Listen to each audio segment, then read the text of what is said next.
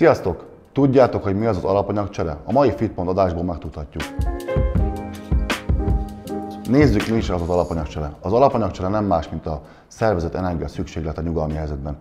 Nyilván, ha valaki ülőmunkát végez, annak kevesebb az energiaigénye, mint aki esetleg állóképességi munkát végez, vagy esetlegesen sportoló.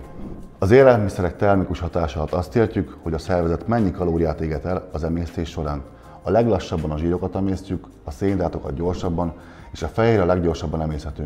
Ezért épül fel egy jó étrend úgy, hogy a makrotápanyagokat százalékban határozzuk meg, ami nagyjából úgy néz ki, hogy 60% szénhidrát, 20-30% fehérje és 10-20% zsír. Nyilvánvalóan, ha ülő munkát végzel, vagy kevesebb a fizikai aktivitásod, akkor nyilván kevesebb kalóriát is kell bevinned, mint ha esetlegesen hetente 4-szer, 5 vagy 6-szor edzel, így nyilván a kalóriabevitel is megnő.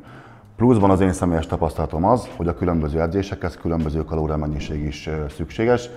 Esetemben a lábedzésnél sokkal magasabb kalóriát szoktam bevinni naponta, mint, mint mondjuk egy mell vagy egy válledzésének. Kíváncsi vagy arra, hogy mi az optimális kalóriabeviteled, akkor erre remek kalkulátorok vannak, amelyek a magasságod, testsúlyod, nemed és életkod alapján kiszámolják az optimális mennyiségeket. És egy kis érdekesség számotokra az én jelen, jelenlegi off felkészülésemben, váltakozik az alacsony és a magas szénhidrátos nap. Kedden van egy magas szénhidrátos napom, ilyenkor lábazom, pénteken és szombaton is magas van, ilyenkor hajlítózni és hátazni szoktam.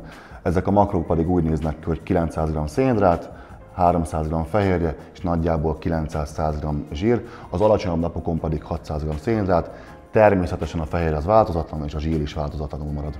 Érdekességképpen megosztom veletek a saját kalória és makróbevitelemet is, ami úgy néz ki, hogy kedden, pénteken és szombaton magas napon van, ahol 900 g szénhidrátot, 350 fehérjét és 90 és 100 g zsírt viszek be, az alacsony napokon pedig 600 g szénhidrátot, a fehérje és a szénhidrát pedig változatlan.